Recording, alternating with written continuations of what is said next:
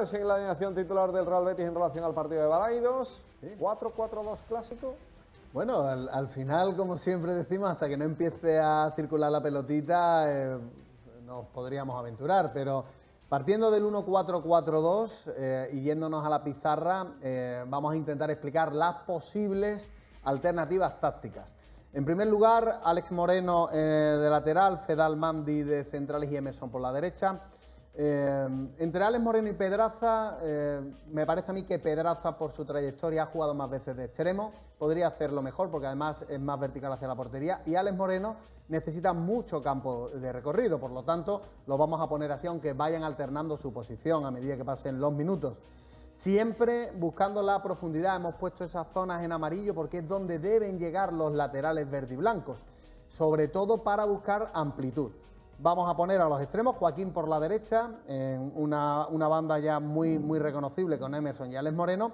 Y en esa zona amarilla la idea es que cuando lleguen al mismo tiempo, tanto por banda derecha como por banda izquierda, los eh, compañeros verde y blancos, para buscar el 2 contra 1. Es muy importante ante una defensa como la de los Asuna de hoy, que seguramente salga más poblada en el centro del campo, las ayudas, las coberturas y esa amplitud por fuera.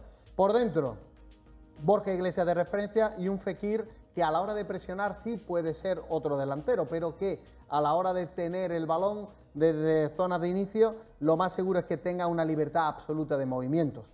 Amparado por un doble pivote defensivo, guardado y guido en principio, y dos centrales.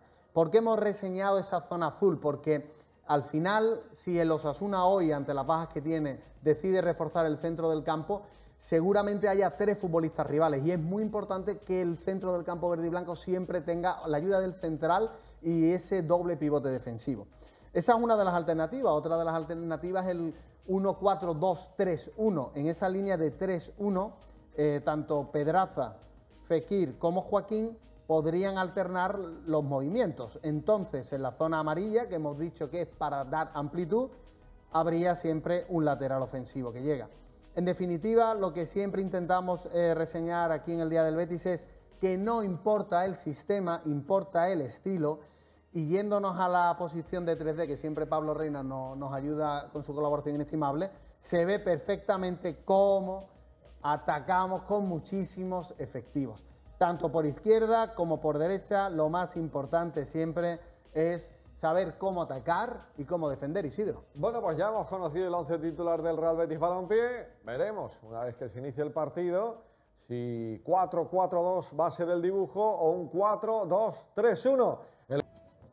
el informe Botello, así juega el Club Atlético Sassuolo.